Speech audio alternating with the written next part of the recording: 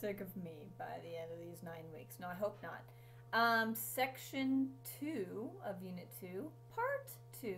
I like to break them up for you guys because I think if you saw that one of my lessons was like 30 to 40 minutes long, you might be like, skip over. No, more importantly, um, some of you guys may get some of these concepts so then you don't have to watch the entire thing. I give you a descriptive kind of little bit about what I talk about so that you guys can pick and choose what you want to watch, what you don't understand, what you need more help with. So, in this part, we're going to talk more about the stages of photosynthesis, okay?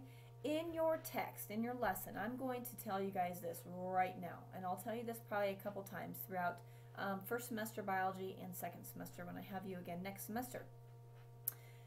Your text tends to go into incredible detail. And to be honest, number one, I'm not going to test you on all those details. So I really want you to understand that what I'm telling you guys in these lessons are pretty much what I want you to know and um, get to know for the unit exam. Some of the stuff in your lesson goes into so much detail and some of those um, pictures that you might see when it comes to the first and second stage or the two stages um, of photosynthesis, you're going to be like, oh, what on earth is that talking about?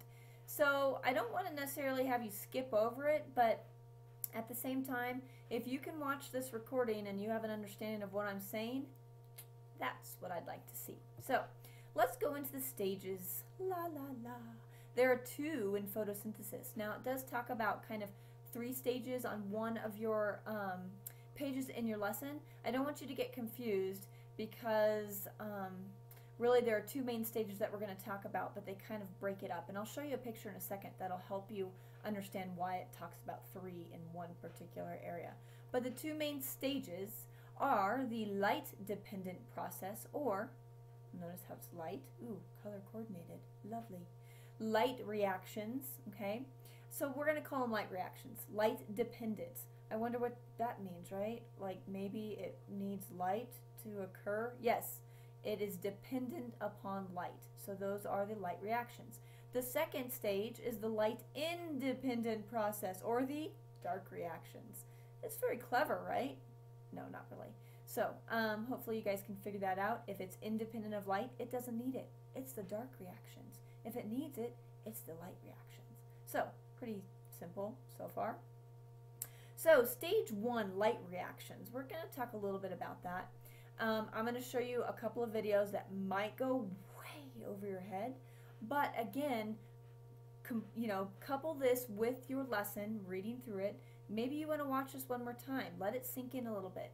There's a lot of details when it comes to this. You guys, I, I want you guys to understand the complexity of yourselves and plants and organisms, and ultimately, when we bring it down to a cellular level, how much goes on in our cells. It's mind boggling. That's why I love teaching about, especially the human body, because it's so amazing what goes on. So, again, back to um, in plant cells, what is going on there? So again, where does photosynthesis take place? Hmm?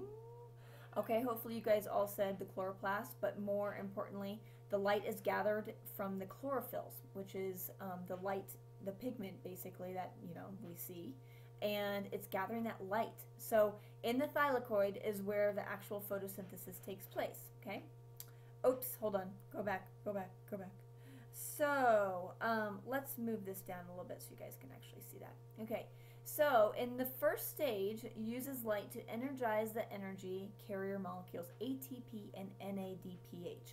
You're going to get kind of overwhelmed with all of these little molecules you're going to hear and you're going to see, okay? But uh, again, hold, hold tight. I've got a good picture that actually is the same picture you'll see in your lesson, so that'll be helpful. But I'm going to explain what exactly happens. Remember we talked about ATP in the last section. It's that high energy molecule that carries a lot of energy in that phosphate bond, especially that last phosphate bond. ATP, adenosine triphosphate, so there's actually three phosphate bonds, okay? Remember, if you break off that last phosphate, you actually are releasing energy and you end up with ADP, adenosine diphosphate, okay? So basically, within the first stage, remember it's the light dependent reactions or the light reactions, we're using light here to energize these carrier molecules. So basically you maybe have had, and, and, again you'll see this picture, it'll make a little bit more sense, but you had ADP and you had NADP plus without a hydrogen. Those are lower energy molecules, okay? Well, light within the chlorophyll and in the chloroplast through this first stage is going to energize these and turn them into ATP and NADPH. These are high energy now. They're like bouncing all, of, all over the place and there's so much energy, kind of like sometimes I feel like I have, which is kind of good. But ultimately also the splitting of water during the first stage gives us oxygen as a waste product. So remember when I take you back to that um, overall chemical equation of photosynthesis, we're starting off with water, okay, and CO2, okay, but um, you're getting oxygen as a waste product, which isn't a waste to us. We need it, right? So that's ultimately what's happening in the light reactions, okay? Let's go on to the dark reactions, but we'll come back to both of them, okay? The dark reactions. ATP and NADPH molecules provide the energy needed to form the carbon-carbon covalent bonds of a carbohydrate. Guess what carbohydrate we're talking about? Think of the equation. In photosynthesis, what happens after the arrow? We make glucose, right? Not we, well not we. We don't do photosynthesis. Plants make glucose, okay? So, in the dark reactions, which don't need light, okay? We've now gotten the light. The light has energized those ADP and NADPH plus into ATP and NADPH. And now these molecules are going to provide the energy needed to form that carbohydrate known as glucose, okay? So let's keep going. So here's the picture, and we're going to get to it in a second. Let me read you these first. The chemical reactions of the light-dependent process occur in the grana. Very important. You need to know where these occur. Now remember we talked about in part one, so if you don't remember the chloroplast, chloroplast, go back to that and, and see that um, actual picture of the chloroplast and where the grana is. The grana are the stacks of pancakes, green pancakes, okay? The reactions of the light-independent processes, so the dark reactions, take place in the stroma. The stroma was basically all the area surrounding all those grana and all the thylakoids, okay? So basically, they're taking place in different places. Um, obviously, in the grana, where all of those chlorophyll are, that's where that light-dependent processes are going to take place. Where the dark reactions don't need light, so it's not taking place where the chlorophyll are. It's taking place in the stroma. okay, now this um, picture you will see in your text. And it's a very good picture because it's very simplistic, and this is what I want you to understand. So here is where it's talking about the three stages. Don't get confused, but ultimately you have the two main stages, which are the light dependent and the light independent. But here it's talking about different stages more kind of on a detailed basis. So stage one, the light energy is captured by the chlorophyll and the thylakoids. Okay.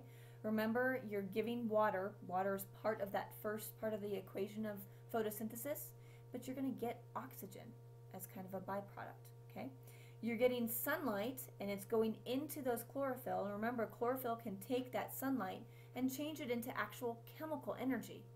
Very amazing, okay? Stage two, the light energy is converted to ATP and NADPH. So basically, through that light energy, we're taking ADP and making it a high energy molecule, okay? Same with NADP+, plus, which is another just basically carrier for energy. I want you guys to know that these are these are molecules you're going to hear NA, ATP a lot, but NADPH is similar to ATP. Obviously, it's a different molecule, but it carries energy. Okay, so that's the big thing. Kind of part of the light reactions are these two. Okay, these two stages, or these two make up kind of what happens with the light dependent. Um, but ultimately, understand that ADP is basically being turned into this high energy ATP. We're adding a phosphate, and we're adding a hydrogen here. Okay. So that now you have two high energy molecules. Stage three is the dark reactions, okay, energy storing organic molecules produced in the Calvin cycle. When I talk about the dark reactions, you're going to hear me kind of intertwining the Calvin cycle. That is another name for your dark reactions, okay? So don't get confused when you hear that often. So in the dark reactions, now you're giving off that energy. Remember ATP, high energy, NADPH, high energy? we need that energy in order to create that glucose, right? So we're going to break off that phosphate, and you're going to see it's going to go into this Calvin cycle, which is um, a pretty extensive cycle. We'll talk a little bit more about. Um, but ultimately, then you're giving off that energy, and with the help of CO2, you are creating, not you. Why do I keep saying you? Plants are creating um, that glucose molecule. Okay.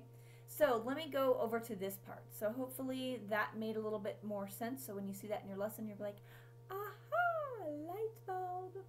Um, but here, let's start off with the light reactions. Sunlight comes into those grana, which are the green pancakes, um, and into the thylakoid. When you add water, you're going to have those light reactions that give off your O2. That's one of the byproducts of photosynthesis. Okay? So, you, as you guys can see, ADP and NADPH plus are basically coming out from the Calvin cycle. This is a constant cycle that happens, by the way. So ADP and NADPH are basically kind of part of those light, light um, dependent reactions. And through this process, we are energizing those two. So here are our energized molecules, right? They go into the Calvin cycle, which is the dark reactions, in which lots of stuff takes place. Okay, we'll go into that a little further, but um, again, I want you to know the main concept of this. But you have that basically these two that go in here and create your glucose molecule. And once they give off their energy, they become ADP and NADPH, and the same thing happens again. Wham, bam, boom, wham, bam, boom, okay? And here is your organic molecule, which is your glucose. And CO2 is again something that needs to go into the Calvin cycle, okay? So that's, remember when we talk about the formula for photosynthesis, H2O plus CO2 gives you O2 plus your um, glucose molecule. Okay, so here are your reactants, here are your products, and here's what happens in between. Lots of stuff. Okay, I hope that all helps kind of solidify some things when you go through that again in your lesson. All right, so how about more on light reactions? Um, here's a video that may be a little too much for you, but start to let it sink in. There's a lot of molecules and a lot of different names that are thrown around, so um, it's pretty short, but everything will start to make sense.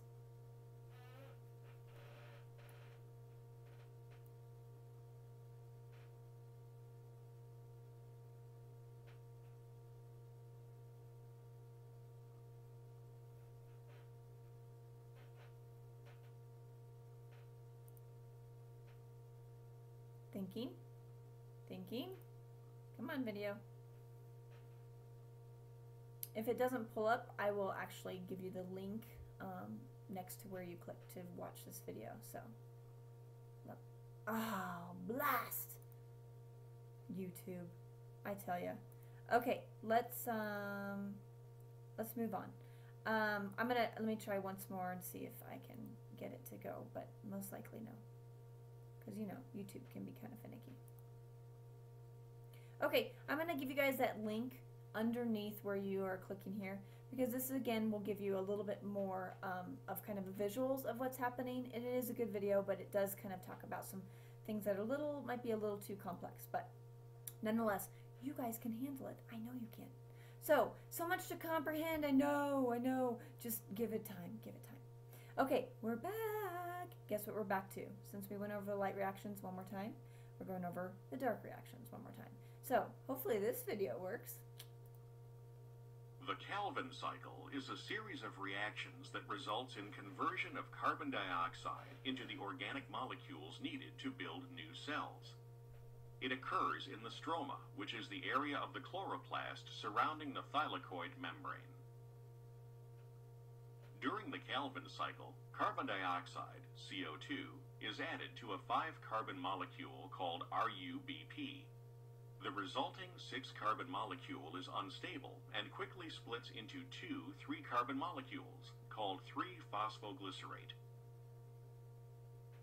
Using energy from ATP and reducing power from NADPH, which are products of the light reactions, the pair of three phosphoglycerates move through a series of reactions and are converted into two molecules of glyceraldehyde 3-phosphate. When several of these glyceraldehyde 3-phosphate molecules have been produced, some combine to make glucose, while others are reused in the Calvin cycle. To generate an entire new glucose molecule, the cycle has to turn several times, because each turn of the cycle adds only one carbon atom from each molecule of carbon dioxide.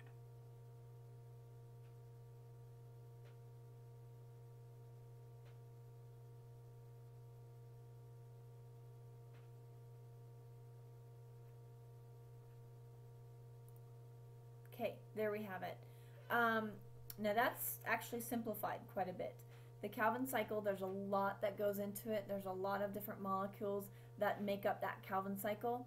I want you guys to read through that, and when the live session, we're going to go over that a little bit more. I'm going to have more of an interactive um, kind of a website that we're going to go through, and I will explain that Calvin cycle a little bit more in depth. But ultimately, I want you to understand the main concepts here that happen in the light reactions and the dark reactions. And ultimately, it goes back to that chemical equation for photosynthesis. So understand um, how those reactants of water and carbon dioxide go in and where that happens, what happens with the light reactions, and then ultimately what's happening in the dark reactions and you're getting a molecule of glucose and you're giving off oxygen okay so those are the main things that I really want you to understand from this section um, again don't be overwhelmed when you go and read through all of the stuff that it talks about and you're going to see lots of diagrams.